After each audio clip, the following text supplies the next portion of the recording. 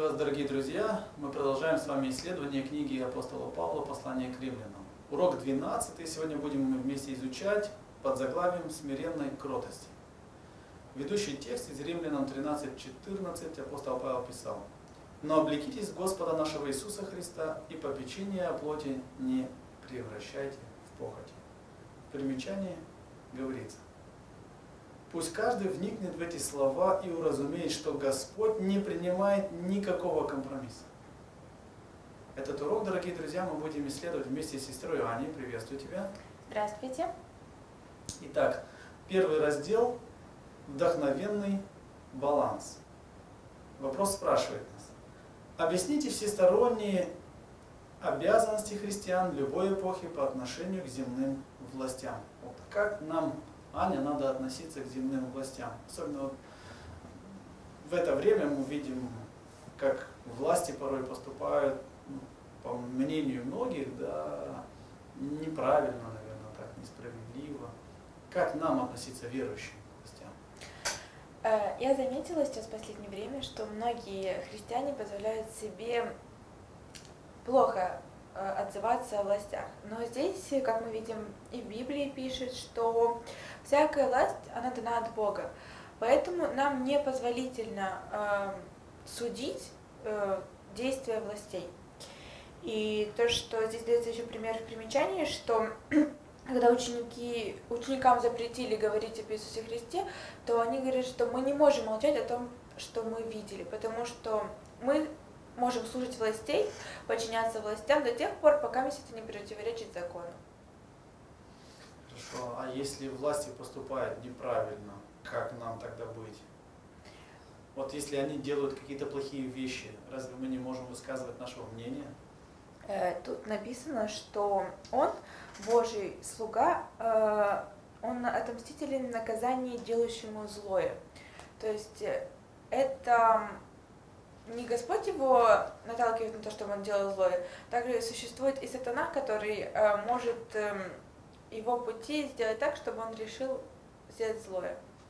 Еще хочется отметить из примечания, когда, наверное, нам надо слушать властей и когда нам мы можем не слушать, мы свободны. Вот, э, давай сделаем какое-то разделение между вот этими моментами. Все-таки, наверное, есть ситуации, когда мы можем и не быть покорными властям.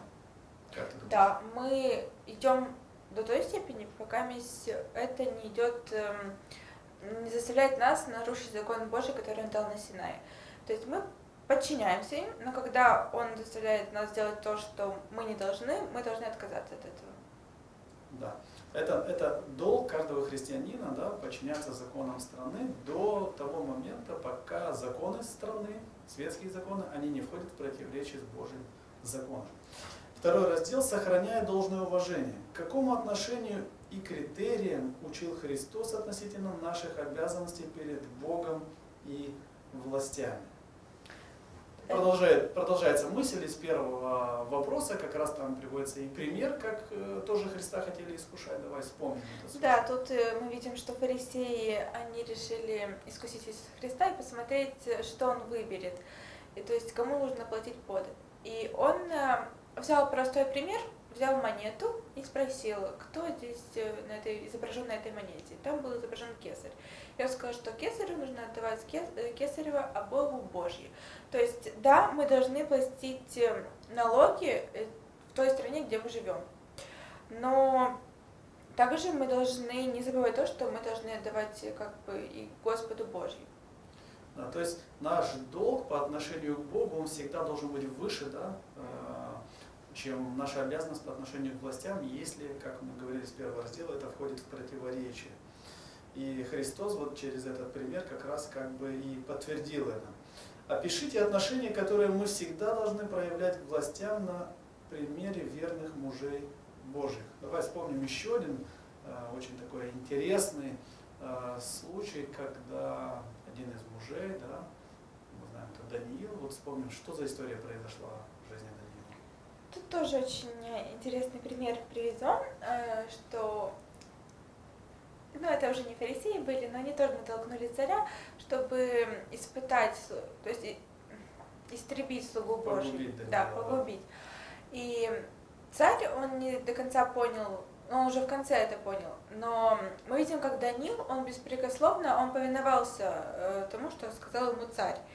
И благодаря этому э, он э, доказал и показал царю, что вот э, на что способен Бог что он смог даже защитить и закрыть пасть льва. А что должен был делать Даниил вот из этой истории, что он должен был сделать, и это входило в противоречие с Божьими требованиями. Что он должен? Но ему было поставлено такое условие, чтобы он не молился, нельзя было молиться. И мы видим, что он не мог э, не молиться, потому что он был да, верен Господу. Кроме царя, да, должен был только да, к царю да. обращаться. И Даниил, конечно же, не понравился этому закону, и из-за этого его кинули в винный ров. Но мы видим, что Господь послал своего ангела, и он э, закрыл пасть льва. То есть каким чудесным образом он спас своего раба. Что интересно в этой истории, Даниил даже не прятался, написано, что он как по своему обыкновению открывал окна и три раза в день молился. И, конечно же, его противники, они понимали, что он так и будет, зная его характер, какой он верный, и они на это и рассчитывали, что он не будет исполнять указ царя. И давай просто вот ну, поразмышляем, что это не Даниил, а это кто-то из нас. Вот такой указ, где нам запрещают молиться Богу, только к царю обращаться, да, к властям, допустим.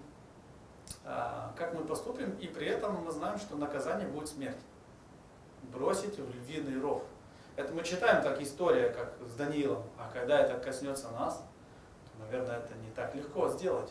Как нам поступить э, вот в такой ситуации, когда будут поставлены какие-то запреты, и, может быть, э, будет угроза нашей жизни? Я скажу, что мы, э, мы маловерны, потому что много раз слышала, что читая примеры из Библии, многие говорят, а что тут такого, что тут тяжело было выдержать эти испытания? Да, читая чьи-то примеры, как он поступил, нам легко сейчас рассуждать. Но мы не знаем, какие у нас будут испытания, трудности, поэтому э, нам нужно укрепиться, укрепиться в Боге, молиться и находиться с Ним, иметь связь с Ним. Тогда мы сможем выдержать любое испытание. Знаешь, еще здесь хочу отметить, вот из э, второй части примечания, э, как, как поступил Даниил. Вот, э, давай вспомним слова, когда царь рано утром приходит, мы знаем, да, история показывает, что он не мог спать, и он рано утром приходит и говорит, Даниил, ты живой, твой Господь тебя сохранил. И как отвечает Даниил? Что царь, да, во веки живи. Я не сделал ни против Бога, ни против тебя ничего плохого. Хотя, казалось бы, Даниил, ну, не было оснований, чтобы Даниила бросить львиный ров. Он против царя ничего такого не делал. И в последующем царь это тоже понял, что это было все спровоцировано, специально сделано, чтобы погубить Даниила. И вторая часть нашего примечания говорит, как часто сегодня бывает, что люди позволяют себе провоцировать власти на какие-то меры. Это нехорошо, у нас такого не должно быть. Э, когда э, говорится, что выискиваем какие-то недостатки да, в том, что делает правительство – и начинается критика правительства и так далее. Вот с точки зрения э, того, что мы изучаем на основании Библии, как ты думаешь, как христиане, должны ли они критиковать, осуждать и так далее правительство, власти? А я скажу очень грубо, что мы не должны в это лезть вообще. Э, мы видим, что Данил, он не разозлился ни капельки на своего царя. И мы нам, христианам, даже не стоит э, говорить об этом, не стоит рассуждать на... Да, нам нужно быть в курсе, что происходит в стране или вообще в мире, но глубоко в это лезть не стоит. А нам, наша работа, тут даже призыв такой, чтобы мы э, подготавливали людей к встрече Иисуса Христа, чтобы наши мысли были заняты другим, но не мирским. Да, особенно вот актуально, хочется тоже отметить, эм, Э, мы живем как раз э, в событиях, когда произошел конфликт, да, военный конфликт между двумя соседними странами, Россией и Украиной. И волей-неволей мы, как соседи, да, Молдавия, мы начинаем обсуждать, рассуждать над э, тем, что происходит в соседней стране. Кто-то за Россию, кто-то за Украину. Вот мы, христиане, как я понимаю, что неправильно будет нам, как ты сказала, вникать или внедряться в эту политику и рассуждать, кто прав, кто виноват. А, получилось, что получилось, и Бог допустил да, этот конфликт. Мы знаем, что Бог не делает войны, делает их сатана, но по воле Божьей все происходит. Без его воли ничего не происходит. Поэтому здесь, наверное, как раз вот актуально э, эти рассуждения, чтобы мы не пытались взять чью-то сторону, чтобы мы не говорили одни правы, а другие не правы. Политики пусть сами разберутся в своей политике. Да? Мы должны молиться и просить, чтобы Бог даровал мир, да, как в одной, так и в другой стороне, даровал мудрости правителям, как выйти из этой конфликтной ситуации. Ты хотела что-то еще добавить? Да, я тоже хотела еще добавить, как хитро поступил сатана. Он сейчас делит людей в церкви, те, которые, вот, как можно сказать, даже по странам делятся. А, россияне, они говорят, что вот неправда, они озлобляются против своих же братьев, и братья в Украине озлобляются против своих же братьев. И то есть э, видим, что сатана не спит. И он прямо в церкви делает разногласия. Да, это недопустимо, такого не должно быть. Стремясь получить Дух Божий, опишите, как на нас повлияет запись закона Божьего в наших сердцах. И вот выход из этой ситуации, чтобы не было разногласий, здесь пишет Бог, в Библии пишет, что мы должны возлюбить ближнего нашего, как самого себя. Это очень важно. Если мы будем этого придерживаться, то мы будем исполнять закон Бога. Да. То есть весь закон, в принципе, заключен в одном слове «любовь». Да? Сегодня есть много рассуждений э, на тему того, что какие-то заповеди нужно соблюдать, какие-то не нужно соблюдать. И Слово Божие нам, вот апостол Павел говорит в римлянам, да, как бы вот такая заповедь, он перечисляет, да, заповеди, которые относятся к ближнему, говорит, заключается в одном слове. Люби. Да? Потому что любовь есть отражение характера Бога. Бог есть любовь. И правильно было бы, э, чтобы мы все понимали, что Бог, давая заповеди, Он не дал на какое-то короткое время, потому что Бог неизменен. И сегодня Бог есть любовь. Хотя разные события сегодня происходят в мире, кто-то по-разному может относиться к Богу, э, но мы понимаем, что Господь сегодня любит каждого человека и желает спасти каждого. И особо Библия подчеркивает, что Бог любит грешника, но ненавидит грех. Для нас это как наставление, чтобы мы стремились, чтобы Бог запечатлел в нашем сердце закон. Но не букву. Это тоже важно, а дух закона который есть э, любовь. Какой отрезвляющий призыв звучит для нас сейчас громче, чем когда-либо? Э, то, что скоро придет Иисус Христос, и, но наша работа еще не выполнена. И мы должны приложить чем более больше усилий, что мы можем приложить для того, чтобы наступил этот день. То есть проповедовать э, истину, выходить на работу. То есть эм, очень интересный момент я услышала, что сейчас люди к нам, они не придут, мы должны идти к ним и проповедовать. То есть Иисус Христос, Он желает, чтобы небесный порядок и гармония, она царила как на небесах, так и у нас на земле.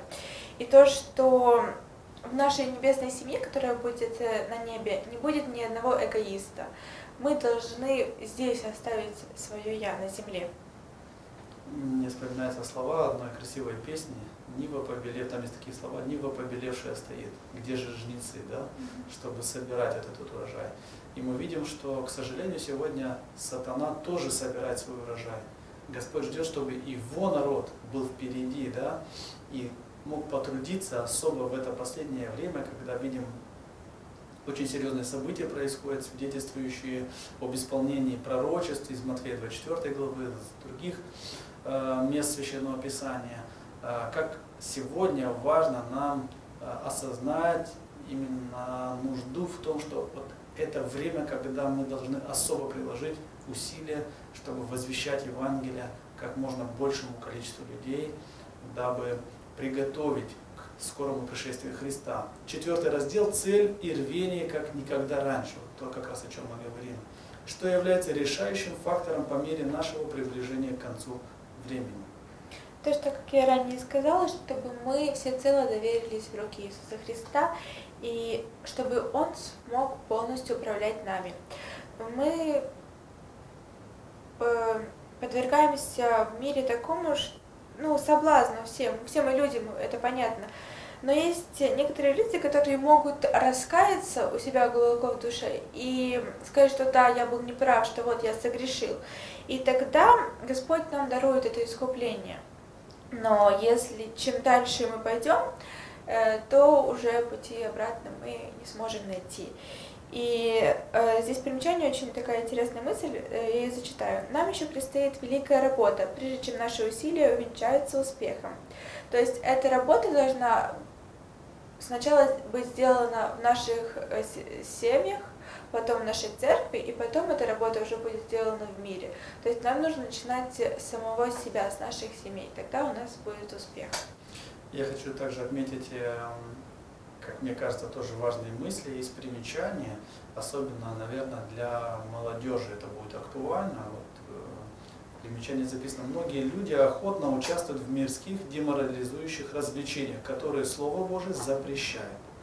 Таким образом, они разрывают свою связь с Богом и становятся в ряды мирских любителей удовольствий.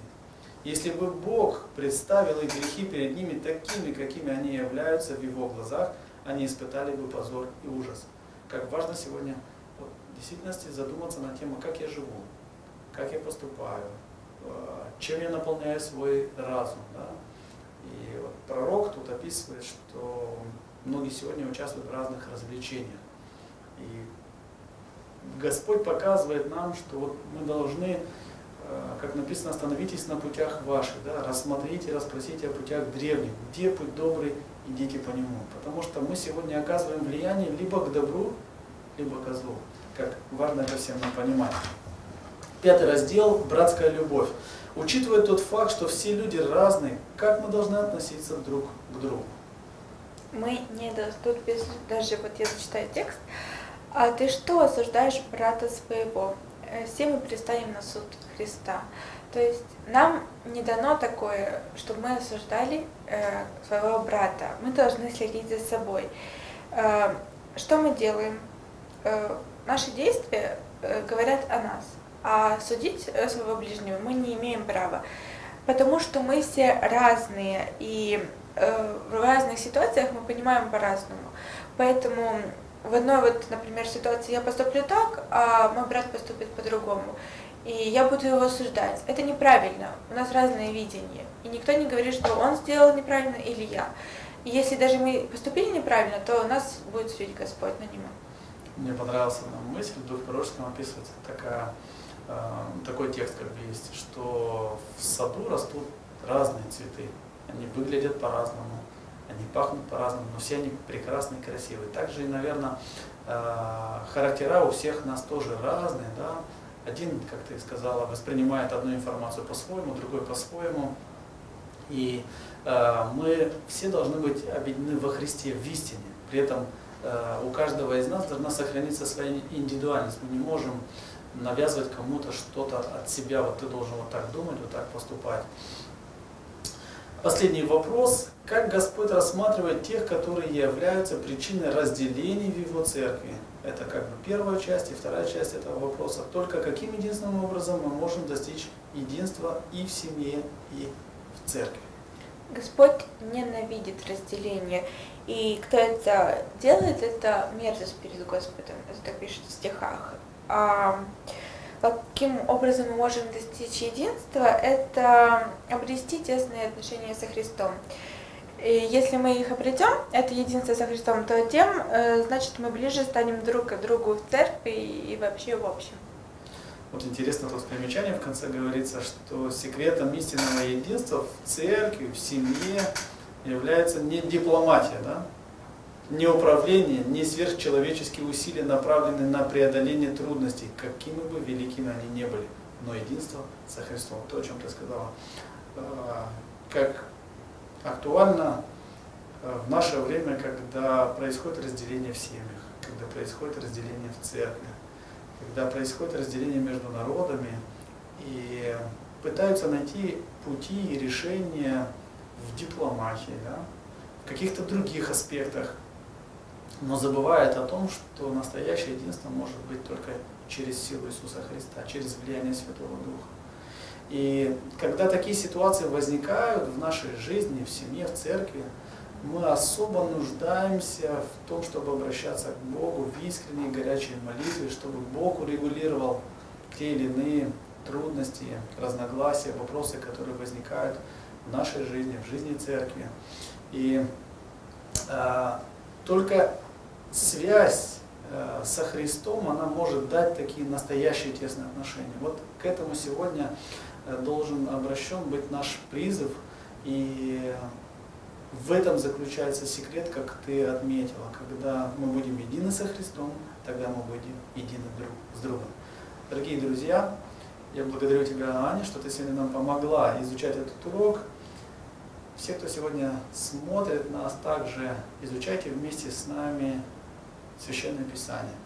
Господь любит каждого человека, и Господь желает изменить и исправить. И если, может быть, этот урок коснулся где-то тех моментов, которые вы переживаете, может быть, у вас есть какие-то трудности с кем-то, разногласия, семейные, церковные, или просто в жизни с кем-то, с соседями или еще с кем-то, то сегодня Господь говорит, что Он может помочь нам решить все эти проблемы. Это на самом деле так, потому что Слово Божие, оно неизменно, оно верно. Оно сегодня так же актуально, как оно было 2000 лет назад.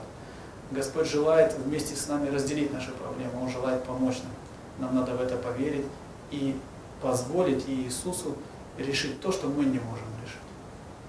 Будьте вместе с Господом, изучайте Его Слово. Аминь.